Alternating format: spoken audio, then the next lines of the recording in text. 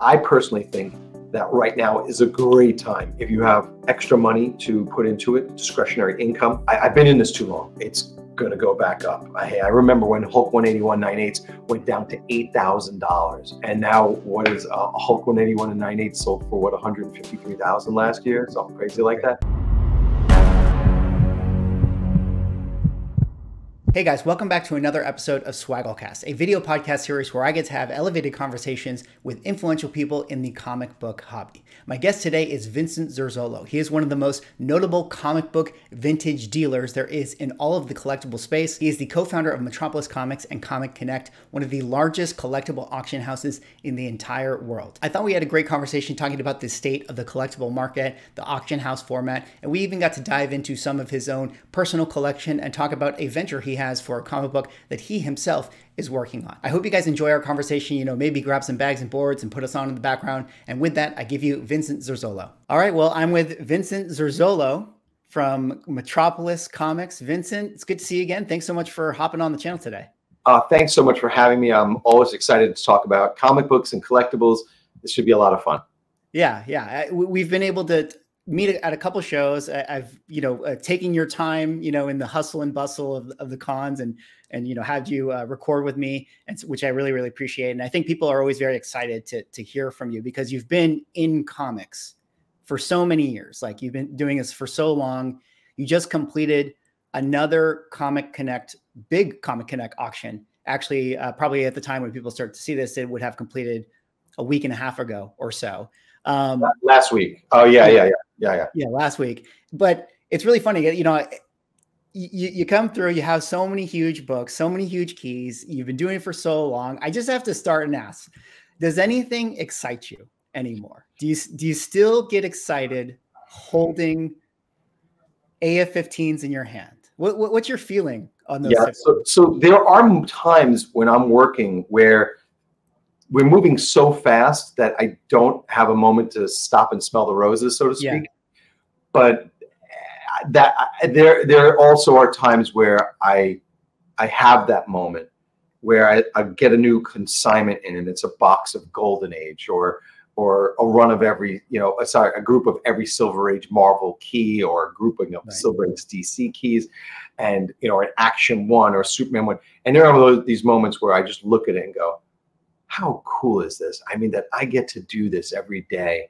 I get to deal with um, comic books, which are one of my favorite things in the world. I have I have several passions in my life. Um, comic books are at the top of that list. Uh, I love food as well. Uh, anybody who follows me on social media sees that um, I'm a big foodie and love to cook and love to eat. Um, and uh, so when you put those two things uh, together and, and you have those things as a passion. Uh, for me, every time when I am getting a great consignment, I'm super excited.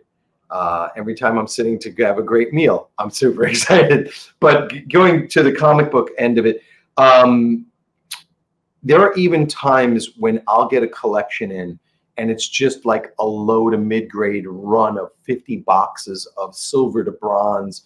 And I'll look at it and I'll go, wow, when I was a kid, I would have killed to be able to sit down and read these. And I've read a lot of them already, but just the idea that I'd have them all in one place, right. doesn't matter the condition, just looking at these great covers, knowing the great stories that are inside of them, it, that doesn't get old for me. It doesn't get tiring for me. I really, really do love what I do. Uh, I'm extremely passionate about what I do. And it's not just the comic books and collectibles, but it's also the relationships and the people that I've gotten to know over the last, so over 37 years from me dealing in comic books. Um, you know, early on it was part time while I was in school, but since 93, I've been doing this full time. Um, and so I have friends and I have clients who I've, I've run into at shows that knew me when I was selling comic books out of my basement apartment in Rockaway Beach when I started out when I was a teenager. And, and so and to hear these these uh, people say, hey, I'm I'm happy to see how well you've done, which thank you very much. That's great. But also to hear them, I remember when you were a kid and da da da da da, and, and I, I go, wow, this is it's so cool to have those types of experiences. Also, I, one of the one of my favorite things, Uh, I once had a, a, client come and buy an AF-15 for himself, and then five years later, you know, he had gotten married. I hadn't heard from him in a long time. He had a kid, and he had saved up his money to buy his kid an AF-15. So it's like like those types of things, generational type of things, where you're dealing with uh, uh, uh, two generations of, of collectors. Those are really special moments for me. So the answer is I, I don't get tired of the comic books. Um, the only thing that can get tiring sometimes is running a company because when it comes down to it, that has very little to do with comic books on a day-to-day basis, and sometimes it gets a bit exhausting. I love to talk about comics. I love to come out on shows, podcasts, uh, TV shows. I was just on the most expensivest with this rapper named 2 Chainz who's like in his fifth season with the show, and it was so much fun. I love doing stuff like that. Anytime for me, I see to, to explain to you like this. When I was in college and I'd be at a party and I'd meet a girl, uh, a girl would say sooner or later, and especially in New York, they'd ask you, "So, what do you do for a living?" And I'd say, "Oh, I sell comic books." And if they didn't walk away, they go, "No, really, what do you do with?" And I'm serious. They some of them did walk away, and they would go, "No, seriously, what do you do for a living?" And I would say, "No, I'm serious. I, I sell comic books. I I buy and sell. I have a mail order company, uh, e-commerce company. Well, now it's e-commerce, but back then it was mail order, and and you know, it, it didn't go well all the time. Let's put it that way. But nowadays, when I'm at a party and I mentioned I'm in the comic book business, there's like a swarm of people come by and they all want to talk to me and they all want to talk about their favorite comic books, their favorite comic book TV shows, movies, uh, video games, whatever it is.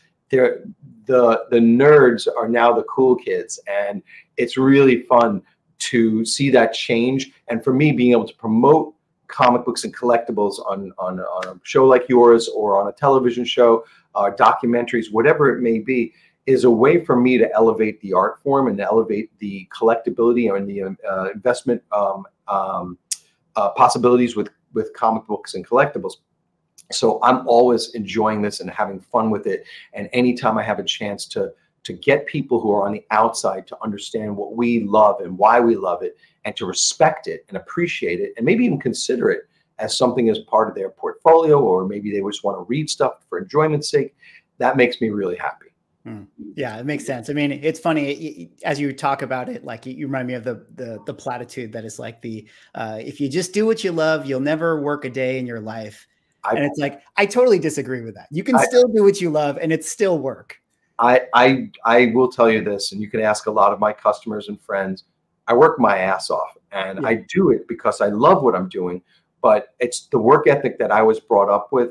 I I'm the son of uh, immigrants from Italy. Uh, my parents came here with nothing. They lived the American dream, put three sons through college. Uh, my father didn't barely spoke English when he came over here, and uh, to this day, he still has 96 years old and still has a broken English accent. And uh, he bought real estate. You know, he, he started off as a, a dishwasher and moved his way up to pizza man and then to chef and restaurateur and uh, bought real estate and, and, and, and made a life for our family. And my mother was a, a consummate homemaker and host, hostess. Um, and I was raised with this work ethic that, you know, you, you, you want something out of life, you have to work for it. Uh, knowledge is power.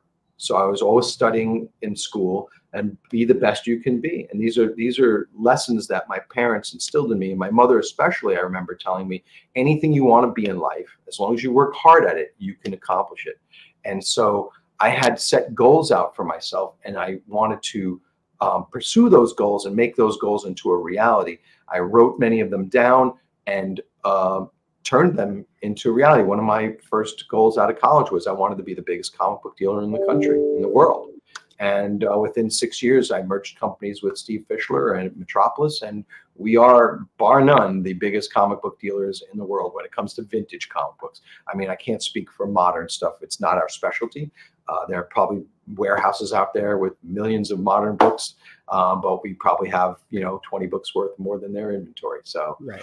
um, vintage is where it's at for us, and and we do deal in modern stuff. I don't want you to think we don't. It's just I wouldn't say we have a million copies of books from the last 10, 15 years. Right. Um, we definitely have a good selection. We even had it, um, we've, we've had some great fortune with uh, Ultimate Fallout number four, a signature series 9 8 Stan Lee signed that I sold. Do you remember what it sold for? I think it sold for it was something uh, crazy at 43,000. So I think 40. it was, uh, it was just about tied for the record. Just yeah, right there.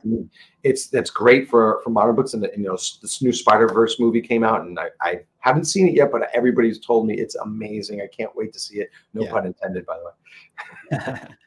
well, let me ask this. I mean, you you definitely, in my opinion, I mean, you, clearly you guys have become the biggest, you know, at, at least uh, like you, you mentioned it, Metropolis has become one of the biggest comic dealing companies that there is, and then you have this uh, what you described, like that's the parent company to Comic Connect. You just had your big auction. Definitely yeah. a lot of big highlights that came out of Comic Connect. Uh, yeah. You know, maybe I can talk about them a little bit while they're on the screen. But you know, talking about that idea of like, oh, just not seeing or, or, or being desensitized to you know having all these books in your hands. There were some cool ones in there. A nine nine Iron Man one and a nine nine New Mutants ninety eight. Yeah. Like, I guess my question to you with some of those ones, like, are there from time to time things that still surprise you as you get them in hand? And and are there any like uh, particular stories or books that you can think about that that even in maybe in this last auction that you're just like, oh, this is something well, different? Yeah, there, you know, there's always something in each auction that kind of goes, wow, how did that guy find that, or how did he get that, or um, where did that come from? Anytime you see something like a nine nine it's always kind of you know really special moment. You're looking at it going wow this really is that special. It's so pretty.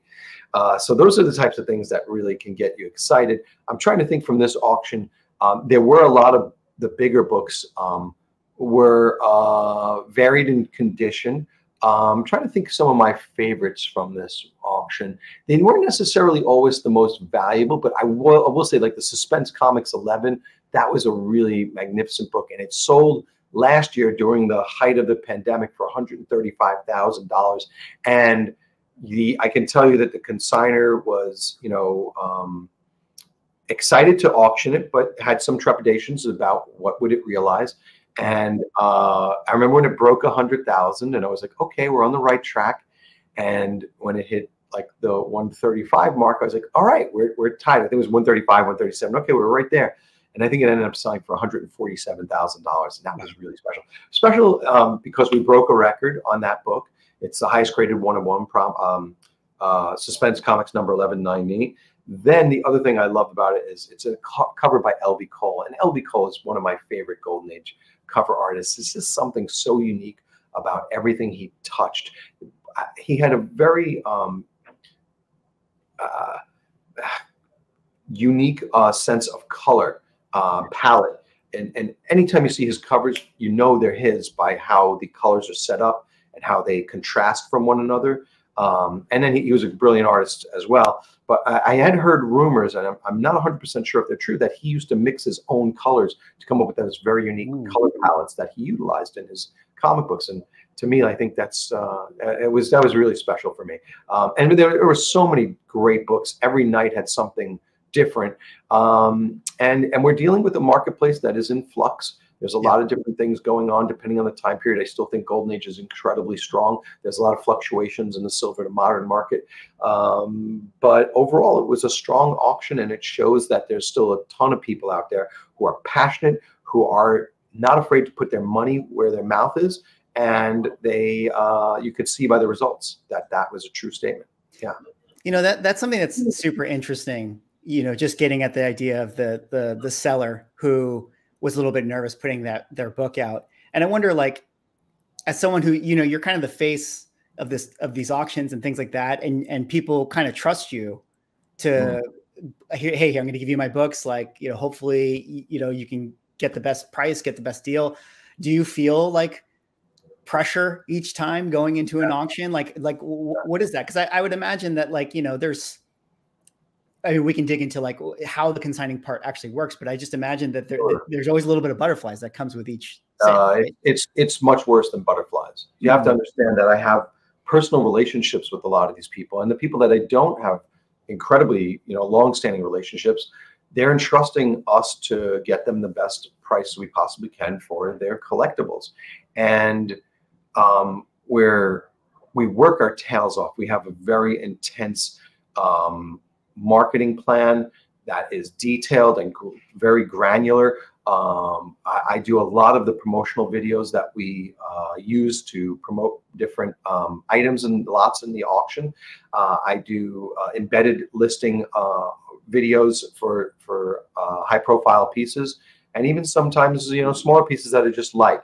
Um, I probably shoot about on average about 70 videos just for pre-auction and then throughout the course of the auction a lot more. And if we see something that needs a little extra help we might put more videos up or, or, or do some extra promotion uh, uh, social media wise or direct marketing wise. And so we have a variety of different techniques that we use to try to get as many people as, as excited as humanly possible to bid in the auctions. But i'm to if, if i were to say to you that we all it's always we come up smelling rose like roses it's not true it's impossible as an auctioneer to 100% of the time satisfy 100% of your consigners.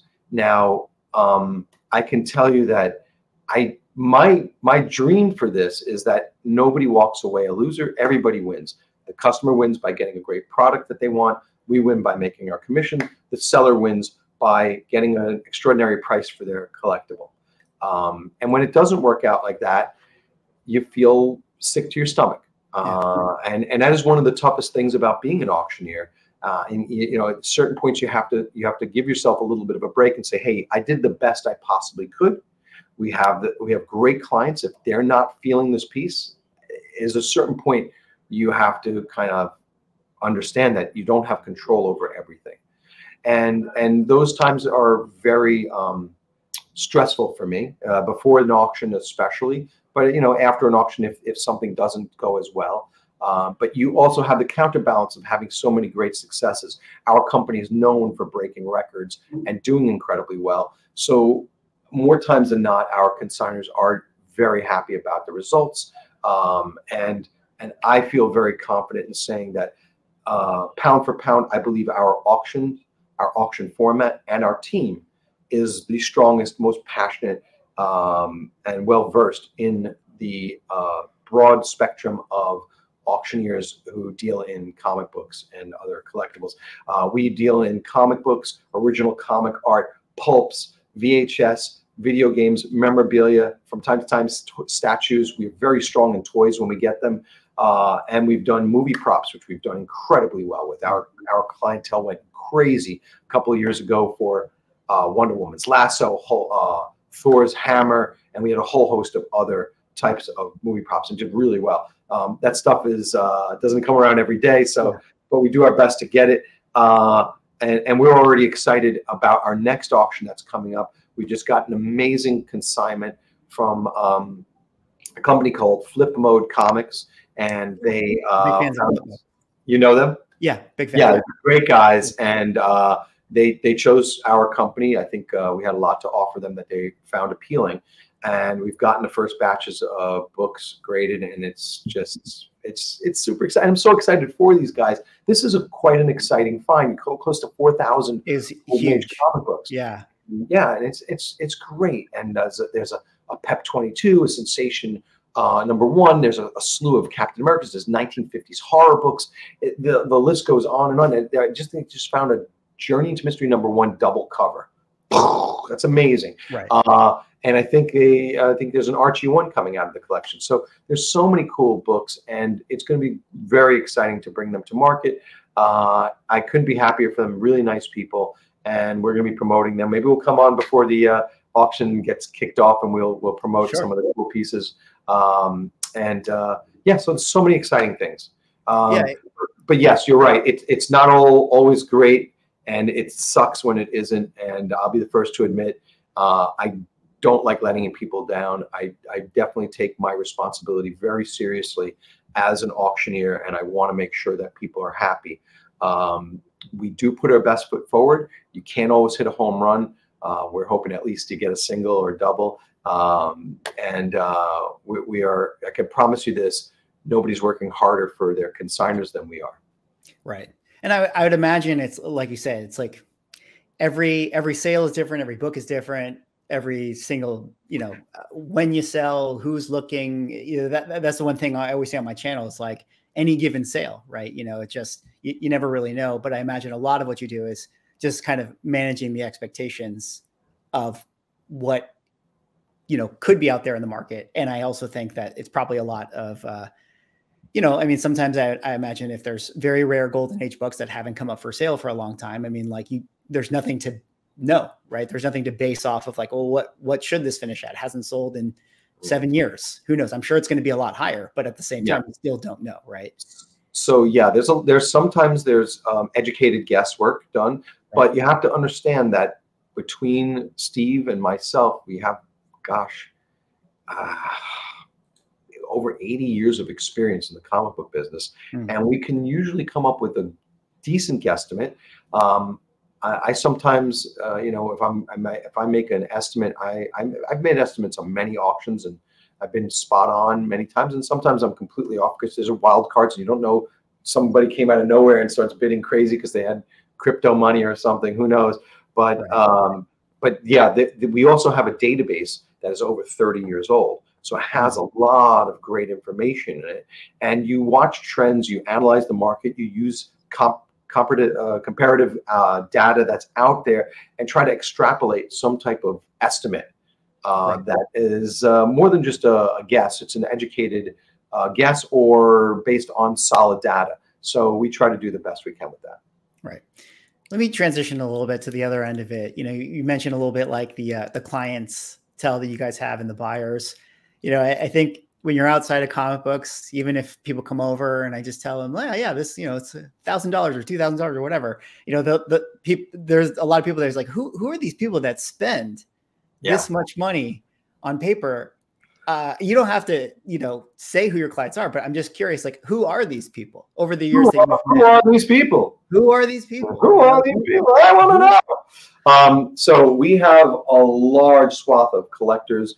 Um, I, it's kind of interesting. On my phone, at any, any any given day, I can call up about a half dozen or so billionaires in the world that collect comic books, uh, and guys who are tech giants who collect comic books, um, celebrities, uh, heads of Fortune 500 companies, but it trickles all the way down to blue collar workers. Um, you name it. I, we sell to everybody, and you'll be surprised that a lot of the blue collar guys they've they're very savvy guys who have saved their money and and have, have been able to parlay it and invest in six figure books. And and so it's not just these uh, white collar or or very um, uh, high net worth people who are buying expensive comic books or even you know not so expensive comics it, it runs the gamut. And um, one of the things i was taught early on in my career was never judge a book by its cover when i used to do conventions uh, my, my buddy who was my partner at the time would say to me hey look just because somebody comes in in a bummy t-shirt and sweatpants doesn't mean they don't have money this right. is their time to relax on the weekend. So right. do they want to get dressed in a suit to come to a comic convention? Of course not. So they're going to come to the convention to be comfortable. And I always held on to that and I never judge anybody by how they dressed, how they look, how they talk, how anything, um, or uh, how much they're spending initially. I'll give you, for instance, mm-hmm. I had a guy who spent, I think it was a little over seven thousand dollars on his first order with me, which is a respectable order. And then six months later, bought a comic book for over seven hundred thousand dollars. I could never have guessed that in a million years. But he was treated with the same level of courtesy and respect uh, and good customer service that we offer to anybody. Um, we we really I built my business um, when I was first starting out after college. I was competing against a, a whole bunch of guys who had way more money, knowledge, networks, bigger clientele base, you name it. They had me beat hands down. How could I compete with these guys? I saw that there was one thing grossly lacking in the comic book world at the time. This is the early 90s when I got out of uh, St. John's University, where I went to school. Um, it was customer service. And what I did is I modeled my company after what I saw my father do at his restaurants and my mother do in our home, which is be, being very welcoming and gracious, and and uh, putting the customer first. Um, and I was able to build my business based on this. Uh, I also worked my tail off to get as many collections as I possibly could and, and travel around to as many shows. And there were a lot of lean times back then where I'd go to a convention, travel to WonderCon in, back when it was in Oakland, California, mm-hmm. and I would barely break even on the table, let alone make any money. And I was selling comic books at cost just to get cash flow up so that I could continue on with my business. And there were times that early on, I, I remember like I sitting there questioning myself, like, what am I doing? And mm. and but I also had a lot of good times where I was able to um, buy great collections and sell them and and and build a business and uh, make a living and more than make a living, start to design a life, design a lifestyle uh, from comic books. And that's something I believe is really important in anything that you do. Don't just make a living. It doesn't matter how much you make. Take, look at the money you're making from your work as something that enables you to enjoy your life in whatever ways that you want to enjoy your life, whether it is buying comic books, traveling, eating great food, um, donating it to charity, whatever it is, whatever passions that you have, uh, it's an ends to a means, not just an ends in and of itself. And those are things I, I think are really important. Hmm, yeah, it's good. Definitely a good mindset to have for sure, and good food for thought. Now, tell me a little bit about uh, we were talking a little bit about flip mode and how sort of the consignment stuff works. This is just something that I'm curious that I think it actually is interesting for a lot of people. I think a lot of people, uh, at least in my sphere, you know, when I talk to uh, people who still spend tons of money on comic books and all that stuff, spend you know tens of thousands of dollars, they still shy away from the auction space because maybe they feel like it's a little bit intimidating, well, both from like a consignment uh, and a buying. To, to, to, give you like basically, I got on the phone with these guys. I was like, "Listen, I'm the best. You should be consigning me." They're like, "Yeah, you're right. I'm getting you now." We we talked for uh, quite a long time. They were considering several several alternatives to my company, but I think when they when they allowed me to pitch them, talk to them about why I felt our company was the best choice and what we had to offer. I do truly believe this you want someone who is as passionate about getting your business mm. to be the one representing your collection in the marketplace. In other words, so I, I, I threw everything in the kitchen sink to explain to these guys why we were the right choice for them. And I and, and, and I believe this wholeheartedly. I'm doing the same thing once I get their consignments. I'm not just sitting there and resting on my laurels or just putting them up on my website hoping somebody will see them. We bust our butts and have a great marketing plan, marketing, promotional, advertising plan put in place for each auction to get into uh, the onto the computer screens or into the homes of as many collectors around the world as we possibly can to get them excited about books in the auction. Um, once I think they they felt that and they conferred with one another, they chose to go with my company. In terms to commit, in terms of commission rates, we have a lot of flexibility because we uh, allow people. We, we call our auctions like a hybrid auction where we have a um, a buyer's premium now that is an option for people. They don't have to go with the buyer's premium. Right. But what it is, we we for years straight straight away from doing a buyer's premium, we only had a 10% seller's commission. But now we give people a choice on, on CGC graded material and CBCS and PGX graded material, um, where they can go the buyer's commission or the seller's uh, commission, uh, buyer's premium or seller's commission, and we give them a choice. And people make different choices based on different um, theories they have on, on, on how people bid in auctions. And uh, I think the flexibility that we allow um, uh, gives people tremendous amount of uh, um, choice and and freedom, and it makes it even easier for them to say yes to Comic Connect. Right. Um, and basically, the way it works is we put a consignment agreement together, uh, we sign it. Um, comic books or collectibles, VHS, video games, pulps, art, whatever it is, memorabilia, whatever you got to sell, well, we can sell it. Uh, they they ship it into us, or we pick it up from them, and we travel around the country and even around the world. I've been to uh, on business Europe, Asia, Australia. Um, I'd say um, the only continents that I haven't been to for business are probably Africa and uh, Antarctica. Um, you know, uh, so it's uh, and we do business in Africa, and I have a couple of penguins that yeah, are huge Antarctica market, untapped. in Antarctica, we have a couple penguins that buy Iceman yeah. comics. I don't know why, but yeah. Uh, so, but you know, th- those are the types of things we're we're willing to go the extra mile, and that's really important. Um, and that's what you want in the person you're doing business with. Um, when somebody comes up with a great idea, uh, hey, I didn't think of that. A customer says to me, "What if we did this?" I go, "Oh shoot, that's a great idea. Let's utilize that. Let's let's try that." And so we've done things like uh, that haven't been always part of our um, uh, regular uh, plan, but that have actually been rather effective and, and, have been valuable. And then we've started to incorporate those things into our regular plans. So um, yeah, that's that's kind of how it works. Yeah. So, so uh, they might be a little bit different because obviously those guys have been selling and they're kind of they're more versed in this. Like, yeah. would there be a situation where, let's say, uh, you know, I didn't know anything about comic books, and then my grandma like had like a you know amazing golden age stuff, and it's like obviously it's a, it's a pretty huge unless it was it was really great stuff. It's a pretty huge upfront cost to like mm. get it graded. Like, how do you yeah. guys navigate this? Like, I'm sure do you guys do like these sort of white glove service type of thing like into this? So, I mean, yeah. is an interesting. Let, let me let me let me tell you all the different uh, idea. Some people just bring us their graded material already, and mm-hmm. when we when they do that, we offer for free. We will do reviews on all their comic books uh, to see if there was anything that can get upgraded, and then we will send those into CGC or wherever.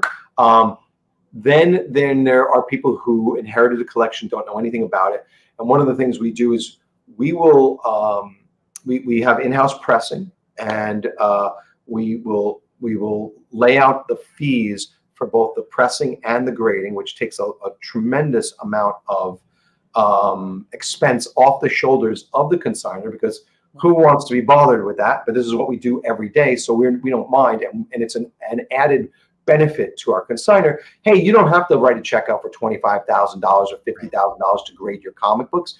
We'll take care of that it's it's rolled into the uh, expenses. It comes off the top at the end of the auction, right. and basically that's something we do. Same thing for pressing and cleaning. We do dry cleaning. We do pressing here. We have a great team that works on it. Um, if there's a piece that we don't think we have the technical expertise to uh, to, to, handle, we will recommend uh, an outside uh, company um, to handle that. So that's not uh, something um, that's a problem. There's always a solution and um, we try to keep our customers' expenses down. One of the uh, number one edicts that we give to our employees is treat these comic books as if we own them ourselves.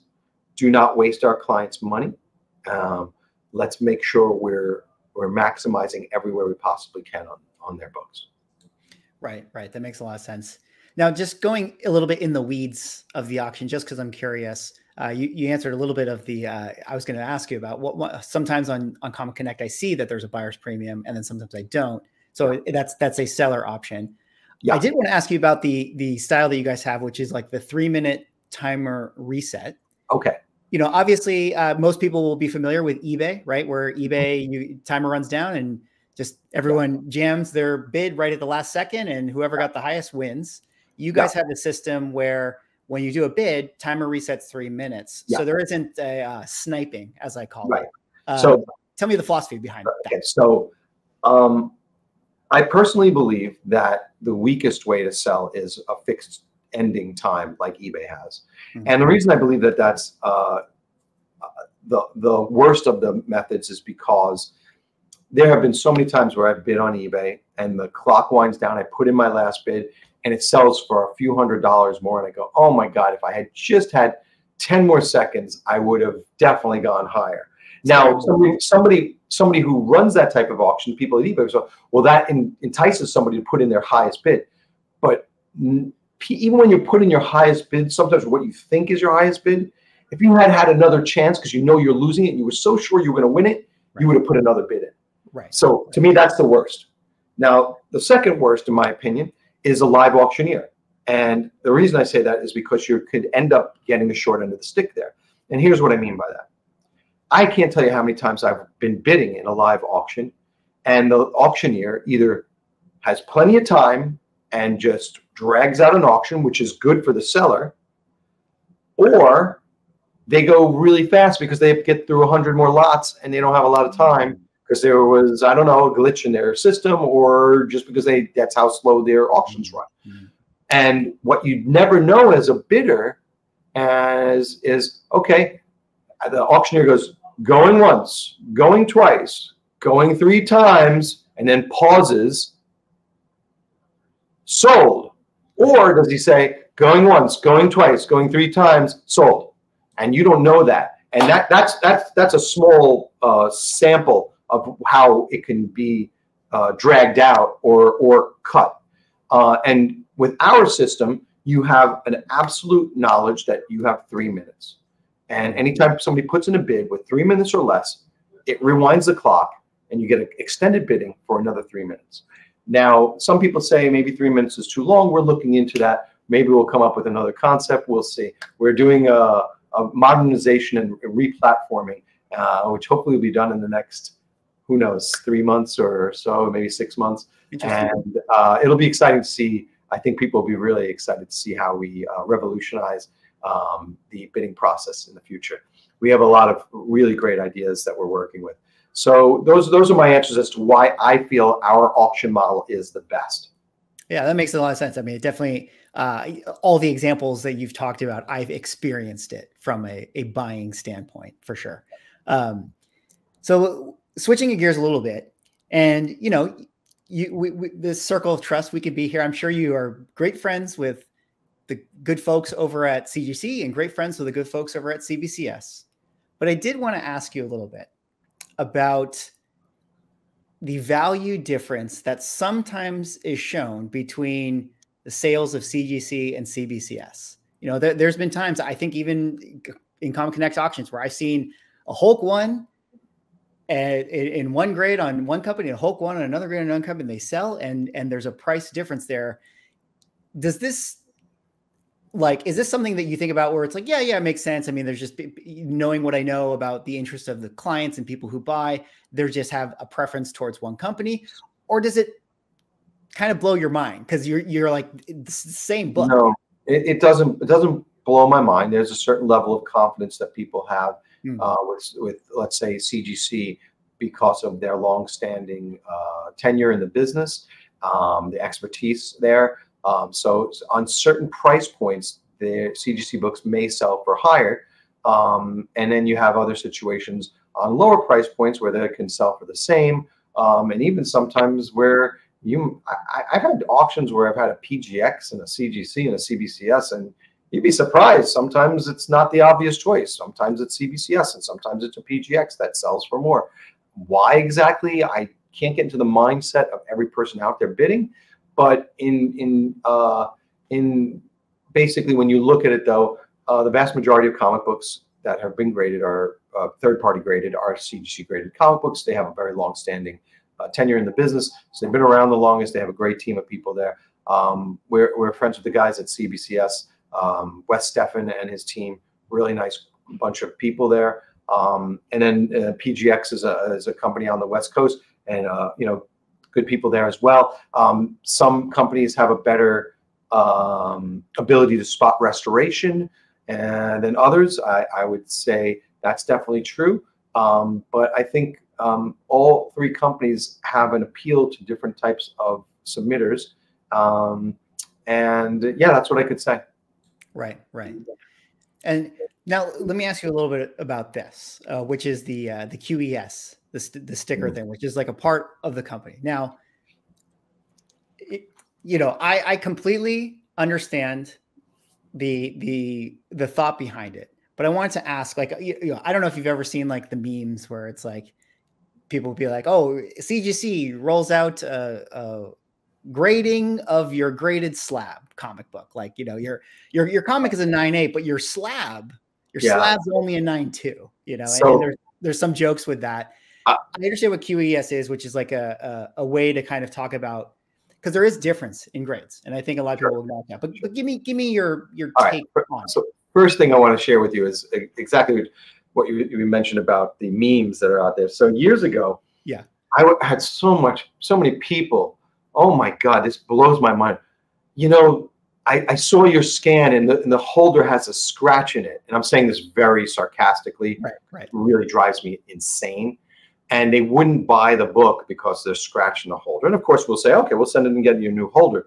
But if you're watching this and you don't buy a book because there's a scratch on a piece of plastic, you need to kind of take a step back for a second and realize that's not an obstacle for you to buy a book.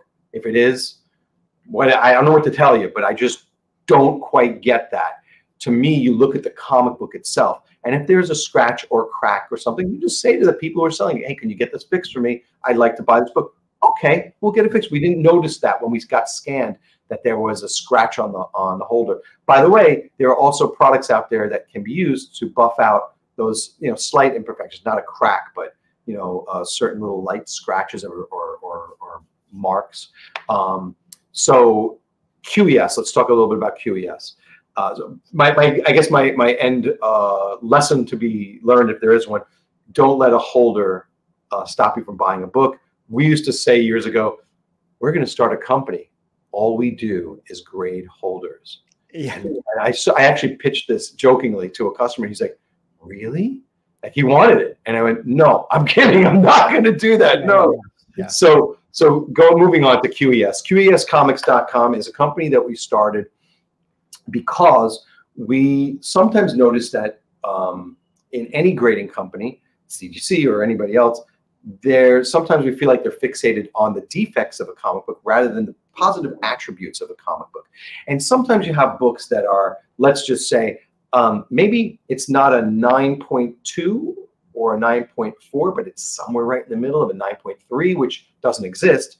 So you give it a QES sticker. And unlike the competition out there, what we do with QES is on the label of the comic book that you're buying, we'll say why we thought it was that impressive.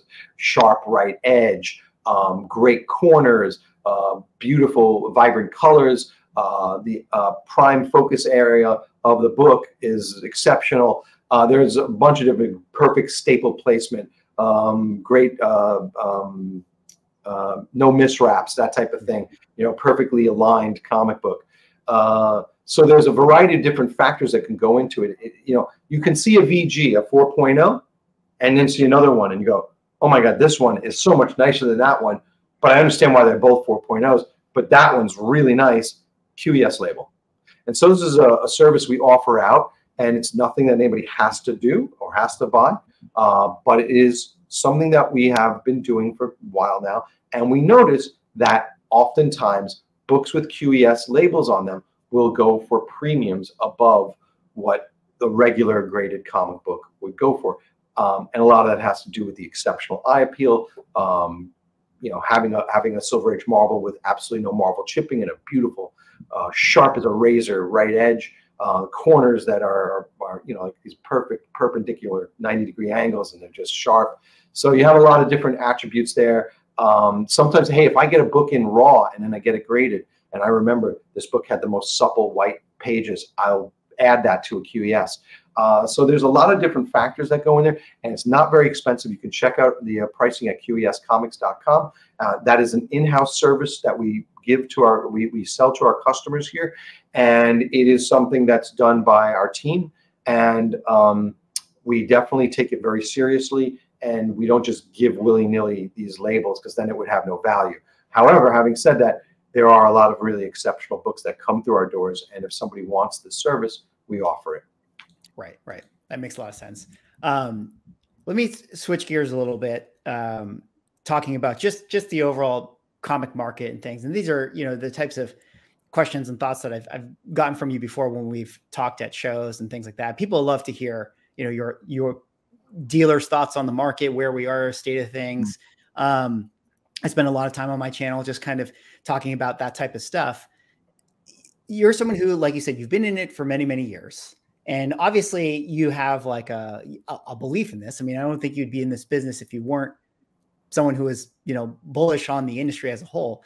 But can you just talk a little bit about where we are in 2023? How does the macro environment affect comic sales? Uh, what was your experience like, like in 2008, where even outside of comic books and we had housing market crash and things like that? Do you have memories of that? yeah, very, very vivid, very I'd, vivid. I'd love to hear you just talk about. So that. let me let me talk about the uh, Great Recession that we had yeah. uh, in 2008 So um, it was a very scary time. You know, was a lot. There was also the dot com bubble that burst in, in the early 2000s, um, 2001, I think it was, or 2002, somewhere around there. So you have these different periods where you have these economic issues, crises that are happening in the in the world, around the world. And let, us take the, the Great Recession, for instance. What I noticed was there was a, a flat line for a small period of time, and then our business started growing and growing and growing. And what you saw that people were terrified of the of, of the stock market, they were terrified of real estate, and they were making zero in the bank. So they had to think for themselves, how do I make money for myself here? Oh, I love comic books. Hmm, I'll start to invest more of my money in comic books. It's not doing me any good sitting in the bank. And I believe in comic books, so at least I know that whatever I buy them for, I think they should be worth that. So, and they go forward. And so you have a lot of people that are buying, selling, investing, and we saw our business grow and grow and grow and grow.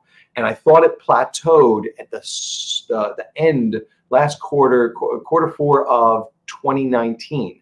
And I started feeling there was like a slowdown.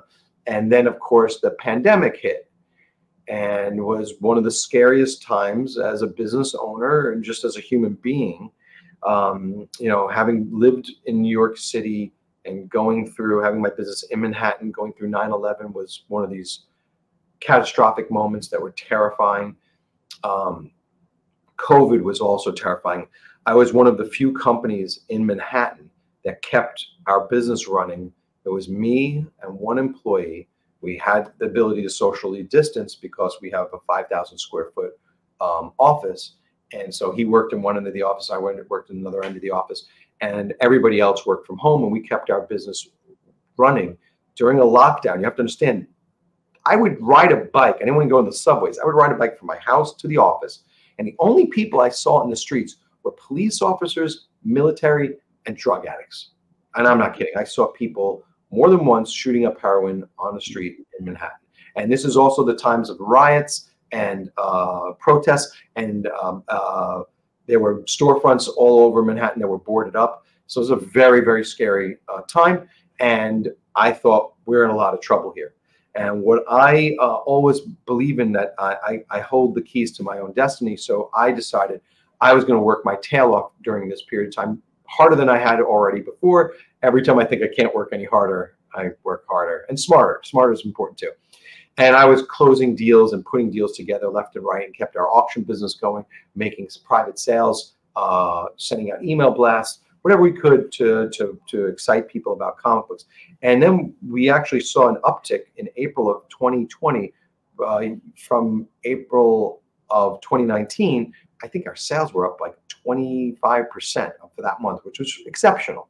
Uh, and and that and the pandemic pand, uh, uh, mania did not uh, yet. It was starting to build towards that. And then May, June, July, it really started revving up, and people were cooped up, locked up in their house, homes, and they didn't have anything to do. So looking through the collections. Hey, what do I need? What do I want to replace? And then everybody, because they were home, was posting everything on social media. And we have this wonderful thing of keeping up with the Joneses here in the United States where, hey, that guy has a nice X-Men number one. I want to get a better one. And so I saw this happening. I saw even guys who were getting their checks from the government, their COVID checks, and buying comic books with them.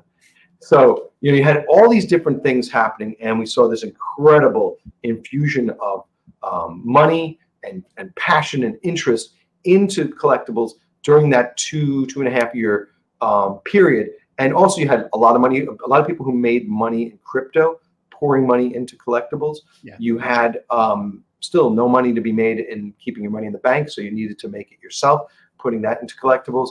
Uh, there were a lot of different reasons why um, things went bananas, and um, they started to come back down to reality over the last six to eight months. Anybody who's in the comic book business or collectibles business has seen that across the boards um, for most.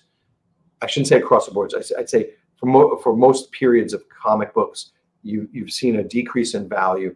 Um, but one of the areas that I think, in the grand scheme of things, that has done particularly well is the golden age of comic books because I think of scarcity and scarcity and demand, and also original art um, because it's one of a kind. Uh, although there are comps that you can say, well, if that cover is worth this and that panel page is worth this, this should be worth that, and so on and so forth.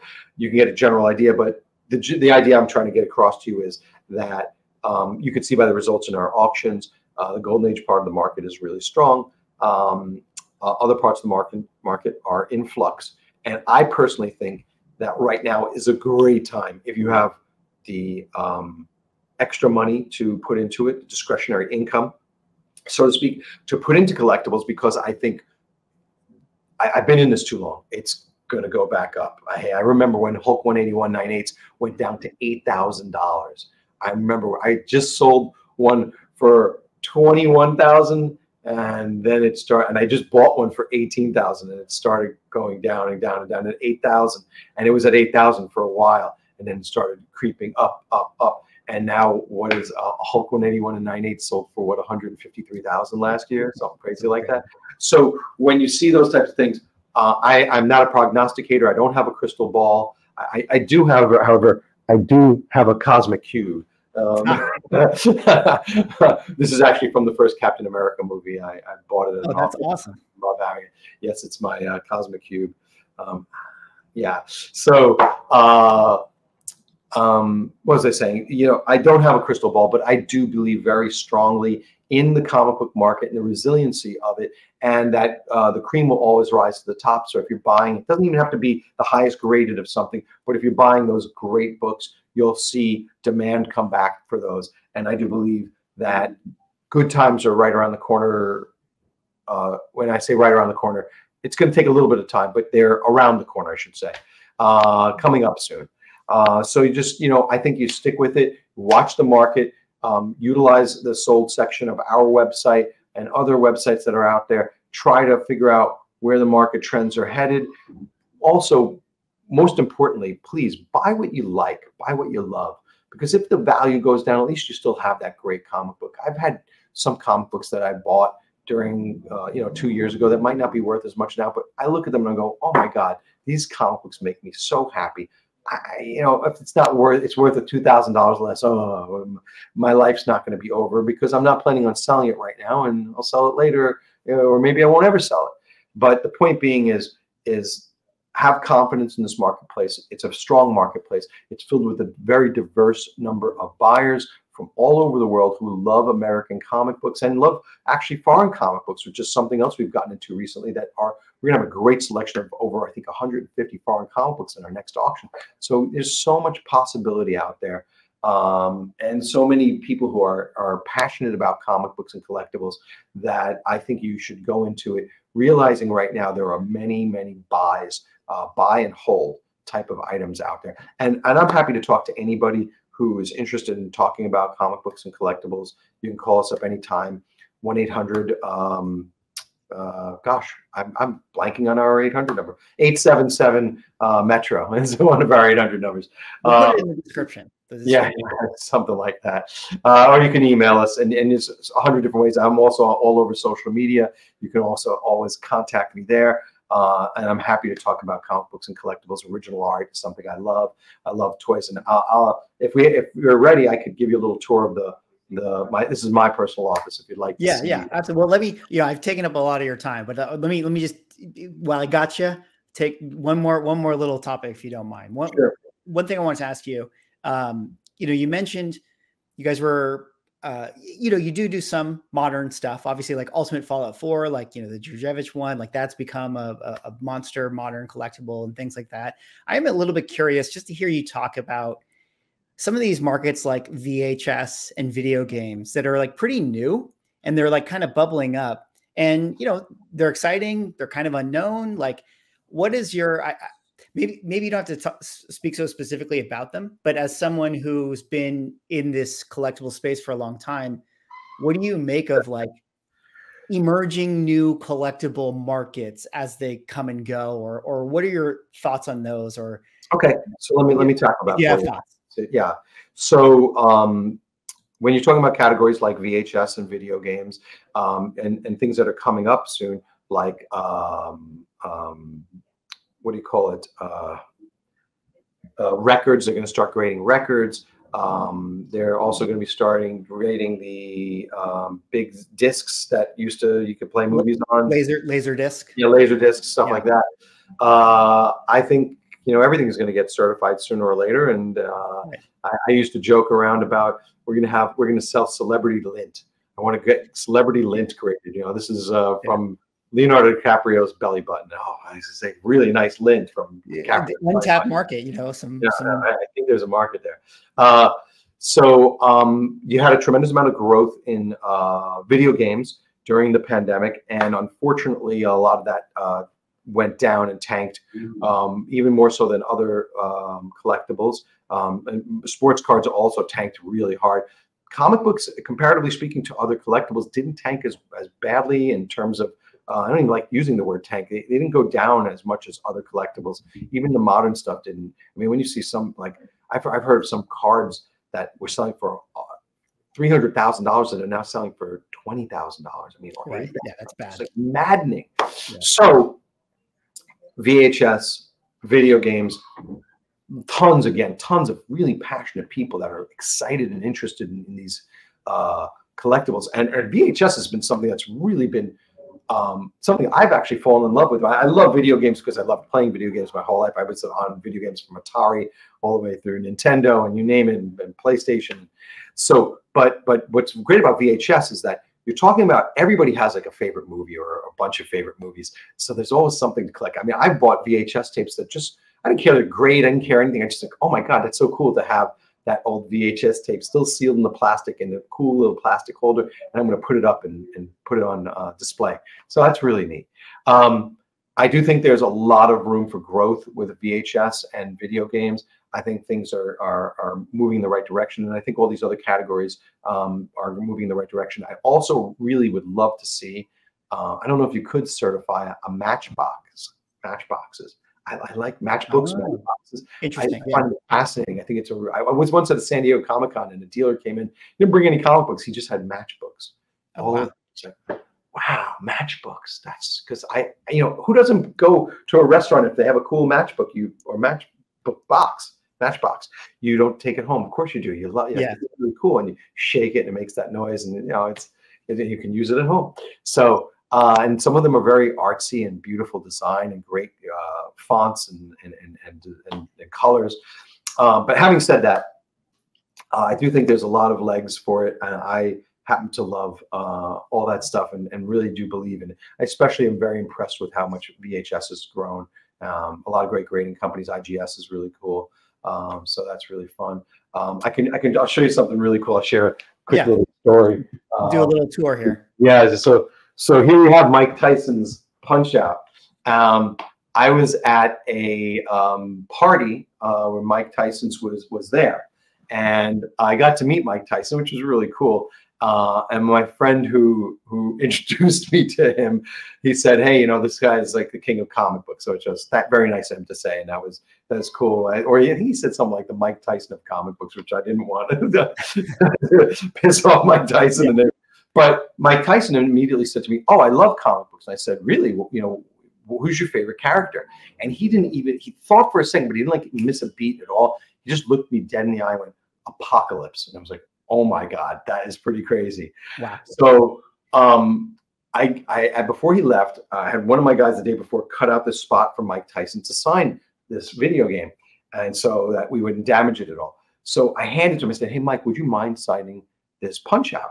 And he goes, sure, sure, sure, no problem. And he starts to sign it, and somebody called his attention away, and he ended up signing it half on the box and half on the plastic. Oh no. And I will never sell this because I have the greatest Mike Tyson story about this. But I, I remember watching him and signing, I was like, no. and and now it's kind of cool and it's fun. Yeah. i will never sell this. This is just a really cool piece. Uh, I'll show you around a little bit more. Uh, I have other than comic books. Uh, I, I, also collect original art, and you can see like there's Todd McFarlane uh, cover to Amazing Spider-Man 323. Right next to it is a Tradd Moore um, uh, illustration of Spider-Man and Venom. Next to that is a Wolverine miniseries page by Frank Miller, and next to that is the um, right there is the Splash to Wolverine number one out of the miniseries. And then if you scroll up here, you'll see, um, gosh, you see over there, over, over that green statue is uh, Harry Houdini's handcuffs right there. Um, you have Sam Kieth, John Byrne, um, Denys Cowan, and Bill Sienkiewicz on The Question, one of my favorite series. Uh, Mark Texeira on Wolverine, uh, Stephen Platt on on uh, Moon Knight with Spider-Man, and then here you have um, the first panel page with Electro by Steve Ditko and Amazing Spider-Man number nine and a couple other, and then over here a whole host of other really cool covers, including a um, Frank Frazetta Famous Funnies cover and the Weird Mysteries 4 cover by Bernard Baily. Uh, even Matt Baker up there. Uh, so many great pieces. Gil Kane, of my favorite artists. I love Knight Rider. And uh, you have over here the first Fairy Beast. That's one of my favorite pieces in my collection. Um, let's see, what else can I show you? Oh, there's a bunch of just fun tchotchke type things that I like to collect and Mego action figures and statues. And there's the cover to one of the rarest variants in existence, the cover to uh, Spider-Man 667. And that is uh, by Gabriele Dell'Otto. We also have Joe Bennett, uh, Sam Kieth, Marshall Rogers. And right here is one of my favorite pieces. I'm a very big Bruce Lee fan. This is Bruce Lee's only signed movie contract from Golden Harvest. It's a three picture deal signed in December of 1971, making $20,000 a picture, signed by Bruce Lee and by Raymond Chow, the head of Golden Harvest. And uh, as, a, as a person who studied uh, Jeet Kune Do, uh, Bruce Lee's martial arts, um, this is very near and dear to my heart. And I, I really love having that. Um, uh, so yeah, I, I, I love everything I do, and I've got a pretty cool comic book collection too.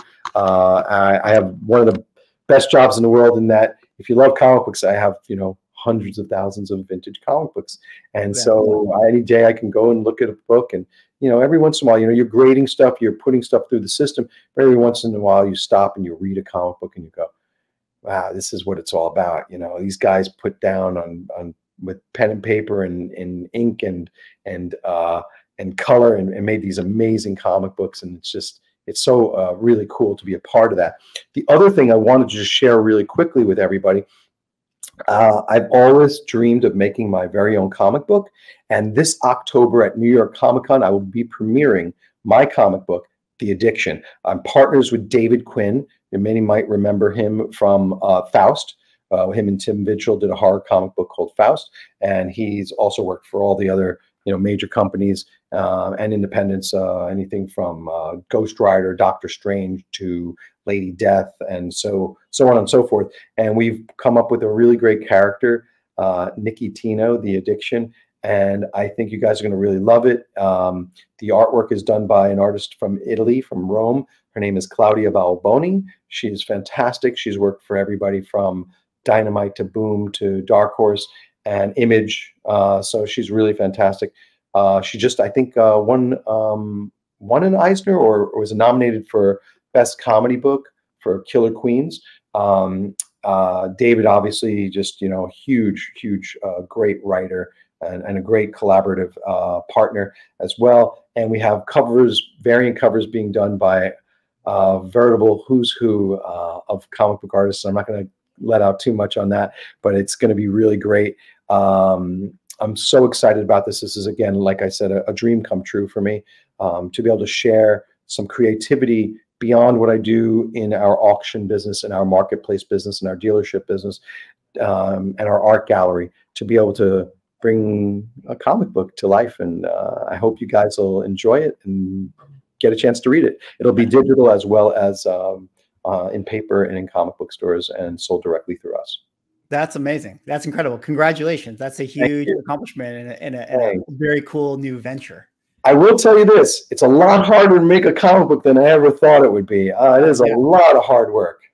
Yeah, it's definitely a lot of hard work, but hopefully it will. Uh, it'll it'll be worth it. It'll be like creatively satisfying. You know, it, it's already worth it. it. You know, I, I, I'm the way I will view the success of this comic book will not just be a number of sales or if it turns into a movie or a TV show or something, but I just want people to read it and tell me it, it made them happy or it made them laugh or it made them sad or some something. If it evokes some type of emotional response uh, from them, I, I, will consider that a success and I will be very happy uh, about that. But we will have a booth at New York Comic Con. I, am praying it'll be attached to the Metropolis Comic Connect booth so I can spend as much time as possible there. We'll have a great sales team there. We're going to have artists there signing their covers, signing interiors. Uh, we're flying in right now as it stands. We're flying Claudia in from Italy. She'll be there, and she is fantastic. And so we're really excited about it um, juggling a lot of stuff right now, but I, I, wanted to make time to be on the show. I felt it could be really valuable for people who don't know about us to learn,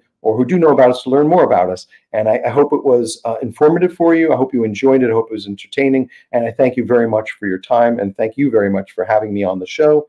Um, and uh, yeah, have fun with comic books. Yeah, absolutely. Well, thank you, Vincent, so much for for your time and and, and sharing with us, you know, your, your knowledge. Uh, just in case people want to, you know, find you, maybe they're instead of them waiting for New York Comic Con, uh, can you maybe drop them some social media handles or websites where they can check you out? Yeah, so metropoliscomics.com, comicconnect.com, metropolisgallerynyc.com. Those are our websites. Um, you can find me under my name, Vincent Zurzolo, on social media, on Facebook, on Instagram, on TikTok uh, Twitter somewhere on Twitter, and we also uh, Metropolis headquarters MTR PLS HQR uh, on Instagram, and um, you can find us everywhere. And it's not hard to uh, get in touch with us. We also have 800 numbers, and we're our websites have contact information. We're located in the heart of Manhattan, in Midtown Manhattan, on 37th uh, between 5th and 6th. And we travel around to all the conventions. We're going to be at Charlotte and San Diego Comic Con. Those are the next two big shows we'll be at. We're excited to meet everybody out there. Very, very cool. Well, thank you so much, Vincent, and we'll talk to you again soon. Thank you very much for having me on the show.